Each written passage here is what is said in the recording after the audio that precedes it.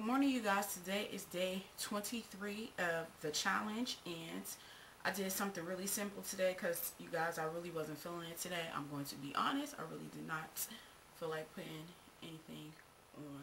I was like extra tired. But I used this uh, City Color palette which I showed y'all in my Rite Aid haul and I used four colors. This color right here is my lid y'all ain't gonna be able to see that.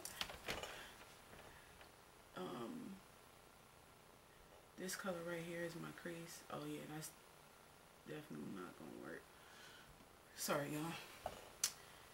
Um, this color up here is the base highlight and this color right here I went on top of that highlight color so those are the colors sorry, y'all.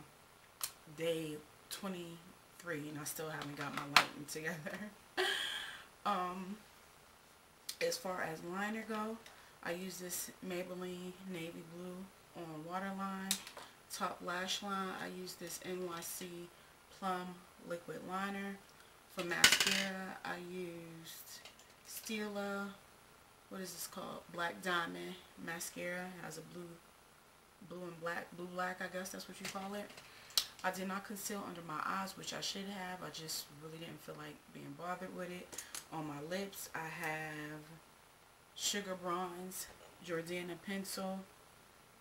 And it's, oh, can you see? Yep, it's that right there. And then I have Rust NYX Lip Gloss on. That's it for the lips. As far as blush goes, I use the Warm Berry by Black Radiance. And then I just powdered my face with the Black Opal Deluxe Finishing Powder. And I'm really liking this powder. So basically that is it. Enjoy the pictures. And um, what? So I have seven days left. And I plan on using... I'm not going to do re uh, reflections for this week. I'm going to just sum up everything at the end of the seven days, but I'm going to use the Wet n Wild trios, not the new ones, but the color icon ones. Yeah. And y'all know there's some color up in there. So, yeah, everything is going to have a color look. Or except for they have the what? The Sweet As Candy and Walking on Eggshells. Those are like new palettes. But, yeah.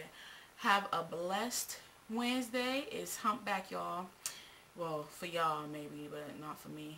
As always, be blessed, and encouraged, and most of all, you stay beautiful. Peace out, my love.